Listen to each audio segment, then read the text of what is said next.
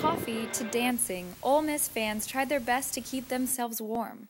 Whatever they did, they just had to make sure they could stake out the perfect seat for this season of Ole Miss baseball. One Ole Miss senior, Matthew Sewell, was one of the first fans in line, arriving at 4:30 this morning. Sewell said he was able to wake up early because he knew he would be guaranteed a good seat.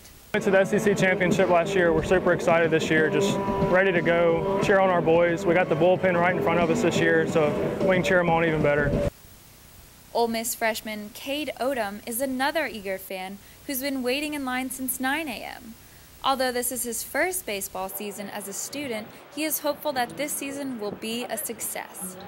Oh, I'm super pumped. You know, we went in here. We're ranked. I think we're ranked number 10 in the top 10. So, uh, and the SEC is always really heated. So I know that we'll have a good competition. It'll be a lot of fun. Reigning SEC champs. So we'll see how things work out.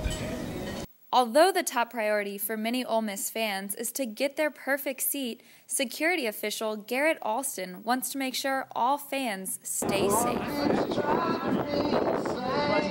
We just want everybody to be safe and, and have fun. You know, that's the main thing is to have fun.